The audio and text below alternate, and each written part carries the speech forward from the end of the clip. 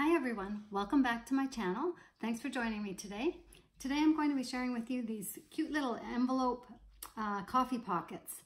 And these are really uh, easy to do and I, they're made using the envelope punch board. And uh, here's what, what they look like here. So this one I've used um, some paper that has a coffee pot, different coffee pots on it. I've used a lot of stamping on this and layering. Um, um, I used my die, the rectangle die, and stamped coffee and some little coffee beans on there. I've got a coffee cup stamped on a circle punch uh, shape that I punched out there and layered that up. And then those are the decor on the front. And uh, inside we've got the Starbucks Via uh, French roast. And I've just got one to sort of demonstrate with today because I think my husband took the other uh, few of the other ones uh, on a hike. And uh, this was the only one that was left so I'll have to get some more for the other pockets. But anyways that's what I've used in here. So it fits in there really nice.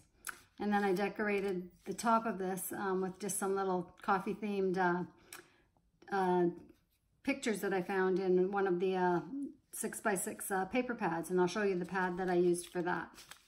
And then I just um, punched a hole in the top and added some baker's twine and I thought it turned out really cute. So um, here's the six by six pad that I used. And um, for this, I'll give you all the measurements, but I actually only needed a five by five piece of uh, scrapbook paper for each one. And uh, but this pad is called Sunday Morning, and it had lots of uh, coffee and uh, tea themes in it. Um, there's the, that's one of the papers that I used. I'll just kind of flip through this, is a really pretty marble paper. I've used some of these in some other projects before as well. And uh, what I like to, here's where I've got cut out some of these little uh, coffee cup pictures. And just, you can kind of utilize these however you want. I punched that one out, I think, for one of them. And um, yeah, it's a really cute little little paper pad. I've used quite a few, so there's not as many to show you in here, but there's another one that you could um, cut things out of. So that's that. And then here's uh, three other ones that I've done, so I can show you this. So this one is um, kind of a beige with a little pattern on it. And then just layered up the, the stamps again and use those for the, the inside. So there's that one. This one I did out of more of a foil type uh, paper. It's, it's, a shiny gold on there. It's pink and white. And uh, that turned out really cute. Like so. And then here's the last one I did. That, that was with that pretty uh, marble looking paper there. And I just used some little stickers on here on that one. So that's that. And then I've got one that's partially finished, so I'm gonna finish that for you and I'll show you how um, to um, punch out the paper that you're gonna use for, for the envelopes. So like I said, um, you take a five by five piece of paper and first of all, you're going to get your envelope scoreboard if you have one and you're gonna, oops, let me get my little scoring tool out here. So you're gonna punch and score here and we're gonna turn it to the three inch mark. And we're gonna punch and score. Turn it again back to the two inch mark. And you're gonna punch and score and then on the last one, you're just gonna, you're only gonna punch it. You're not gonna score it. So then your, your paper looks like this. And then you can round the corners if you like. I like that look like I did on here. It just kind of finishes it a little nicer, even though you cover this up, but I don't know. I still like to do it. So it's up to you. And if you don't um, have the envelope punch board, you could just use a little corner rounder to uh, round those up. And then all that it would be is um, to uh, fold, fold it in like this. And then there's your little pocket.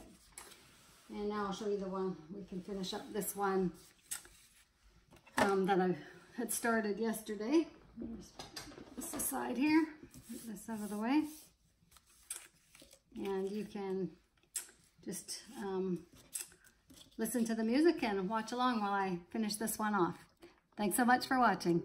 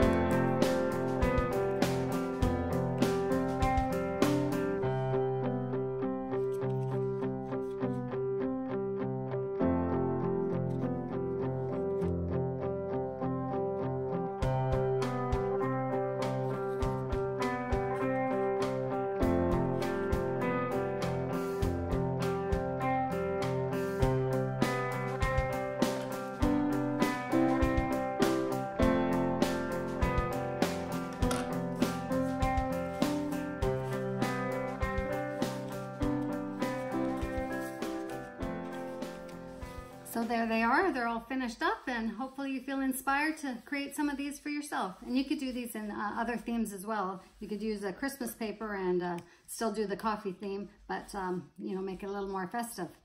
So hope you enjoyed that. We'll talk to you soon. Bye for now.